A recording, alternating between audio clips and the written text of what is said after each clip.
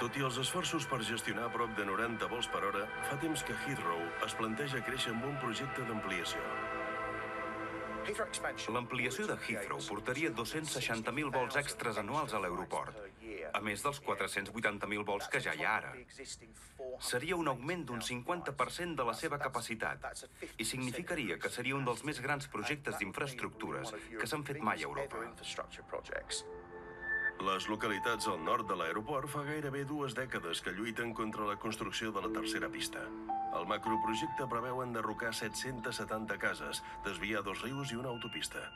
Ara fa un any, el Tribunal Suprem en va aprovar l'ampliació. Aquesta casa se salvarà. Quedarà aquí i facin el que facin.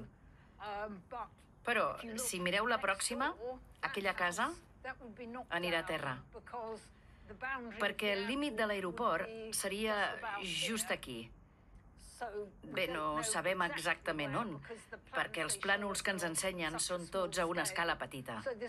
Per això aquest home no sap si el seu garatge quedarà aquí o potser l'enderrocaran. Aquest poble ha esperat i ha esperat durant molts i molts anys.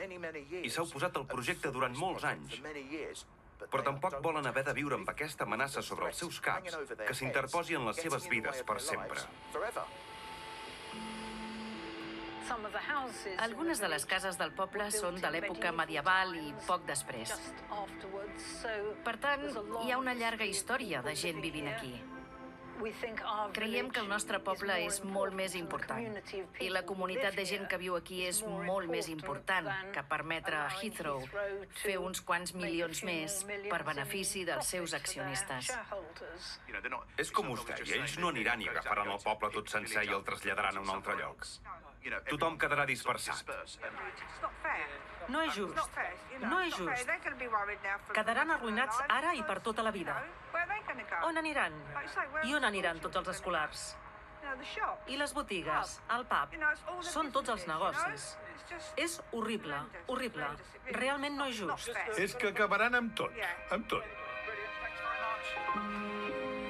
L'angoixa dels veïns de Heathrow encara s'allargarà un temps. No se sap quan començarà l'ampliació perquè la caiguda del trànsit aeri per la pandèmia i els compromisos pel canvi climàtic han congelat de moment el projecte.